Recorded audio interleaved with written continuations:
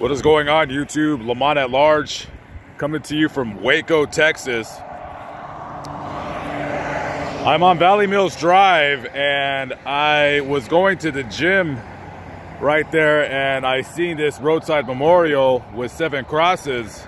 So I wanted to come here and see who these people were. And uh, I'll read the names really quick. Uh, Christopher Corwin, Fred M. Lewis, Charles Landrum, Charles Eberhart,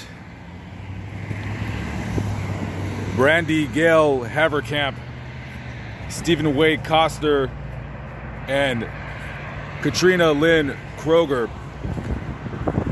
These people all died in a automobile accident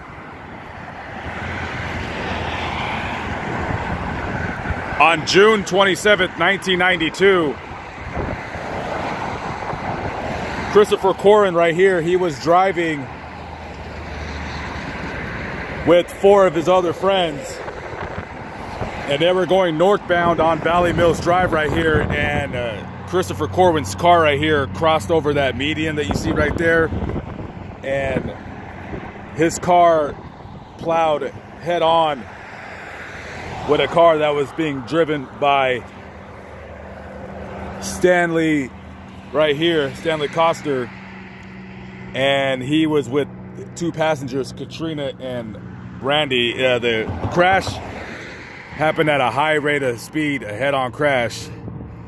Stanley was a youth pastor at a church and he had just left with Brandy and Katrina from conducting church activities when they were hit head on.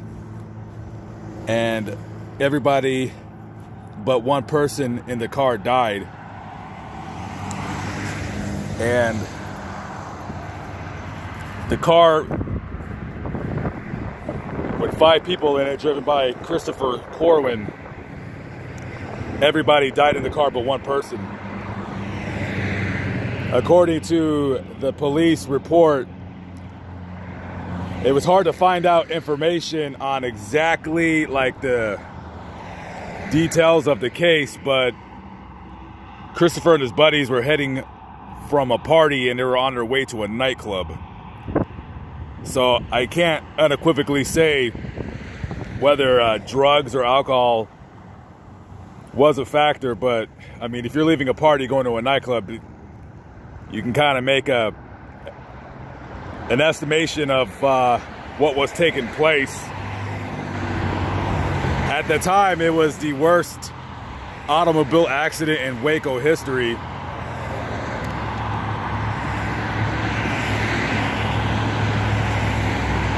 Very tragic.